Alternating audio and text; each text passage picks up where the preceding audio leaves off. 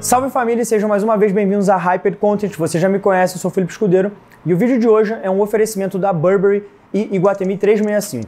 Para quem não conhece o Iguatemi 365, eles são uma plataforma de e-commerce com a curadoria impecável, com mais de 400 marcas e dentre elas a icônica marca inglesa Burberry que a gente vai tratar hoje com mais carinho. Não sei se vocês se lembram, mas no vídeo que a gente gravou na Pop-Up 365, eu avisei para vocês em primeira mão que eles venderiam Burberry na plataforma do Iguatemi 365 muito em breve. E nesse momento, todas as peças já estão disponíveis no site, é só vocês acessarem aqui para poder conferir tudo que eu vou mostrar para vocês nesse vídeo. Então chega de enrolação, já deixa like nesse vídeo, esse vídeo vai ficar muito legal e a gente vai mostrar para vocês minuciosamente todas as peças aqui e no final do vídeo aquele styling padrão da Hyped. E para você que é ansioso, a gente vai deixar um link aqui na descrição com todas essas peças da Burberry lá no site do Iguatemi 365 para você poder conferir ao mesmo tempo que a gente está apresentando aqui essas peças no site deles. Como eu sei que vocês são loucos por tênis, a gente vai começar por eles.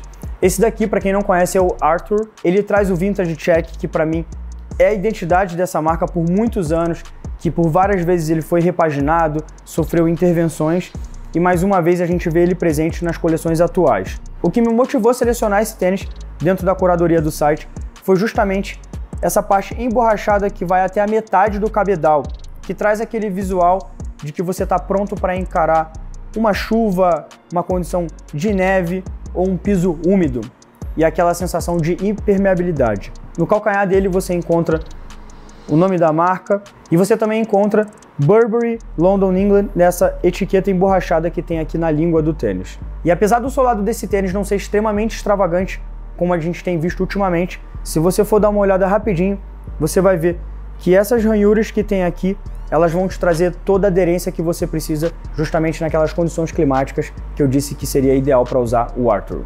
Eu também fiz questão de trazer o Arthur na cor branca para vocês verem a diferença que essa parte emborrachada estando em preto e branco, a diferença que isso faz, né? O outro tênis traz muito mais aquela sensação de que você está preparado para altas condições climáticas e apesar desse tênis ser exatamente o mesmo, você está preparado, eu vejo ele como um tênis um pouco mais casual. E antes de eu partir para os acessórios, eu queria saber de vocês. Qual dos dois Arthurs é mais a sua cara, o branco ou o preto? Comenta aqui embaixo. E para começar a falar de acessórios, eu não podia escolher outra coisa que não fosse um bucket hat. Na verdade, esses chapéus aqui fizeram parte da minha trajetória na internet. Eu já fui muito conhecido como um cara que usa bucket hats. Na época, todo mundo me marcava na foto de qualquer pessoa que estivesse usando um. Eu até fiquei um pouco incomodado na época, parei de usar, mas agora eu tô voltando, tá? Vou botar todos os meus chapéus na cabeça inclusive esse aqui. Se você for comparar esse bucket hat com os bucket hats mais antigos da Burberry, apesar de serem vintage checks, eles não são iguais, tá? Eu vejo a Burberry sempre trabalhando o vintage check de formas diferentes, mudando a tonalidade dos beges, a forma que eles dispõem o xadrez também no chapéu. E se você fizer uma comparação agora, olha a diferença da cor de um vintage check para o outro. Fora isso, eu amei a estrutura desse último bucket dele, se você for ver, ele é bem firme, ó. Eu tô segurando ele pelo meio, mas se eu segurar por aqui, ó, ele continua armadinho.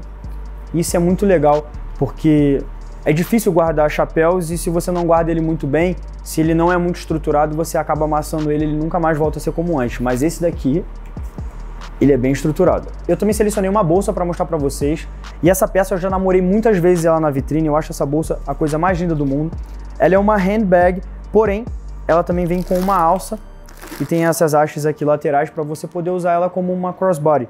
Então é uma peça que é muito fácil de você fazer o styling, porque se você não tem como cruzar ela aqui para não poluir o look, já que você está usando às vezes algumas camadas, você pode usar ela na mão e sair tranquilo. E para encerrar os acessórios, eu também escolhi esse cachecol.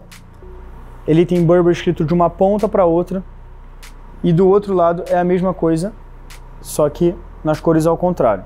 Não adianta muito eu mostrar para vocês assim, aberto que nem uma bandeira, vai ficar muito mais legal quando eu vestir ele. E eu não vou ficar fazendo suspense até o final do vídeo para poder falar dessas peças lindas que estão aqui na Arara. E para começar falando de casacos, eu selecionei essa Puffer Jacket da Burberry, que ela é absolutamente perfeita. Essa peça é aquela peça que você compra para ter para o resto da sua vida, para todas as suas viagens de neve e de esqui ela vai estar junto contigo. Essa peça ela é extremamente acolchoada, ela é equipada com bolsos, o zíper dela é incrível, fica deslizando. Esse bolso que tem aqui na frente realmente é um detalhe que eu amei. Ele quebra um pouco o vintage check e ao mesmo tempo ele traz o preto do vintage check. Então, ele traz esse bolso de uma forma bem sutil, respeitando a padronagem da marca. Ele tem esses detalhes aqui para você poder ajustar esse gorro, que é a cara de um gorro de esquimó. E ela não é só bonita na frente, ela é bonita atrás também. Eu mal vejo a hora de usar essa peça aqui no styling que a gente está preparando para vocês. E para respeitar a tradição da marca, eu também tinha que trazer um look usando um trench coat, já que a marca é muito conhecida por ter os melhores trench coats do mundo. Eu escolhi esse preto aqui, vou trabalhar umas sobreposições, eu ainda não tenho certeza como que vai ficar esse look, mas eu tenho algumas opções aqui muito boas, errado eu sei que não vai dar. Além do abotoamento dele, se você for ver, tem muitos botões como detalhes, ele também tem essa faixa aqui que serve para você acinturar na hora que você for vestir. Essa daqui foi uma das peças que eu mais gostei de todas essas, tá? Eu adoro tricô, adoro suéteres e esse daqui, ele é perfeito. Eu vejo ele muito bem encaixando com o bucket, apesar de não ser a mesma cor de bege, eles vão funcionar muito bem. Esse suéter, sem dúvida, foi uma das minhas peças favoritas dentre todas as que eu selecionei. Eu sou muito fã do Vintage Check, eu amo bege e eu mal vejo a hora de usar ele junto com aquele bucket. Eu tenho certeza que, mesmo eles não sendo de um bege da mesma tonalidade, esse tom sobre tom vai funcionar perfeitamente. Eu também selecionei essa tee. Eu tenho uma camisa de botão que é bem parecida com ela, que foi a que eu usei no vídeo da Pop-Up 365, e ela é como se fosse a versão t-shirt daquela camisa que eu tenho só que dessa vez ele é preta e a minha camisa era branca. E para quem tá morrendo de calor ao redor desse Brasil, eu também selecionei esses shorts de Vintage Check. Eu tenho dois shorts da Burberry, só que os meus são swim shorts, são shorts de banho. E esse aqui, o material dele é um pouquinho mais agradável, não dá aquela sensação de que você está com short de ir para piscina. Eu também selecionei essas duas calças chino, uma preta e uma bege. Com certeza esse tipo de calça é must have. Você precisa ter essas calças no seu acervo, vai te facilitar muito a vestir as coisas. E elas têm um detalhe bem interessante, que se você dobrar aqui embaixo, você acaba vendo essas listras nas cores da padronagem do Vintage Check. É muito comum você ver nessas peças assinadas pelo Tisse, essa tarja aqui, eu me lembro de já ter visto shorts assim, bermudas assim, e quando isso não tá aparente aqui, tá ao avesso. A mesma coisa acontece na calça preta. Inclusive aquela bermuda que eu tenho de alfaiataria da Burberry também tem isso. Se você virar aqui, as mesmas listas da Burberry Tissy. E para o pessoal que curte uns fits mais comfy, eu selecionei esse sweatsuit todo preto com essas listras laterais de vintage check, tanto a calça, que é uma jogger, quanto o moletom. É um moletom hoodie com capuz. Tem aqui esses puxadores para você ajustar o gorro é bem fofo se você for ver as ponteiras que tem aqui do cadastro. E ele acompanha a mesma tarja na lateral com o vintage check de cima a baixo. E ela segue aqui atrás também. Ó. Bom, agora que eu mostrei tudo para vocês, chegou a hora de provar, para vocês verem como que essas peças caem no corpo. Então se você não deixou o like, agora é a hora. Deixa o like aí e vamos provar isso tudo.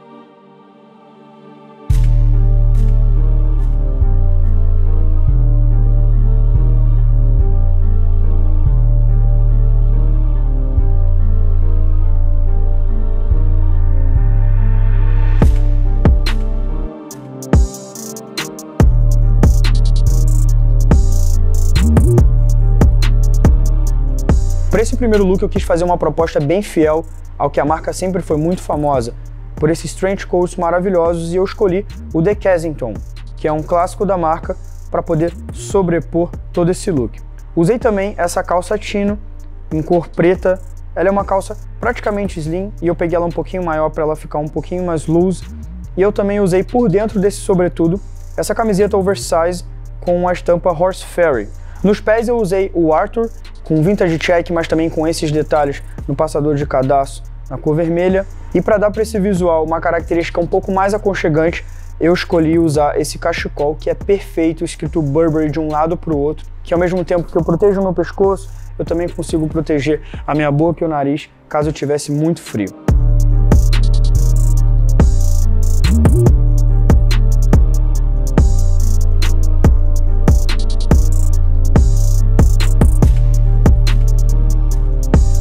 Para esse segundo look eu quis trabalhar o Vintage Check, que sem sombra de dúvidas é uma das mais fortes identidades dessa marca. E eu também resgatei esse Bucket Hat, que é um acessório que marcou muito durante a minha carreira, e eu hoje praticamente não consegui tirar ele da cabeça na produção desses looks. Eu tive que me policiar porque ele ia bem com quase tudo que eu usei hoje. Usei esse suéter em Vintage Check que ele é perfeito e acabou ornando muito bem com o chapéu pelo tom e sobretom de beges. Usei também na parte de baixo uma calça chino, exatamente igual a do primeiro look, só que dessa vez na cor bege.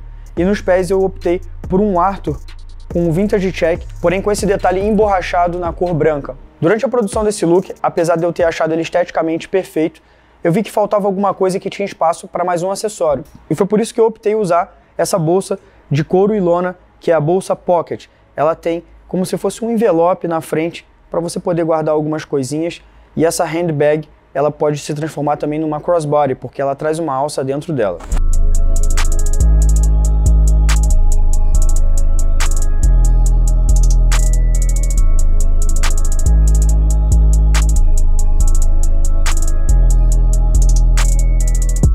Para esse terceiro look eu quis uma proposta bem mais conf, uma coisa bem mais despojada, como se fosse uma roupa para o dia a dia, porém muito chique, porque a gente está falando de Burberry. E para não deixar esse look meio sem graça, já que a gente está falando de um sweatsuit, basicamente um conjunto de moletom, eu optei usar de novo o bucket hat em vintage check, que combinou certinho com essa tarja de vintage check que cruza tanto o hoodie quanto a calça desse conjunto de moletom. Nos pés, eu usei mais uma vez o Arthur na cor preta e esse tênis surpreende bastante com tantas vezes que ele encaixa no look.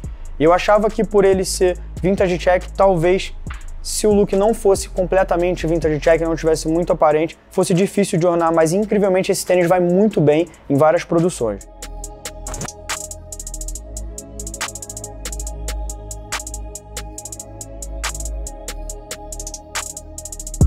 E para o nosso quarto e último look, a proposta foi completamente diferente. Eu montei esse look pensando em estar preparado para condições climáticas extremas, quem sabe uma nevasca, ou então para eu poder esquiar. E foi por isso que eu trouxe essa jaqueta puffer em vintage check, que é a coisa mais linda que eu já vi quando se fala de casacos para inverno. E nos pés eu usei mais uma vez o Arthur na cor preta, que tem esses detalhes em vermelho, que brinca com vintage check com uma fluidez incrível.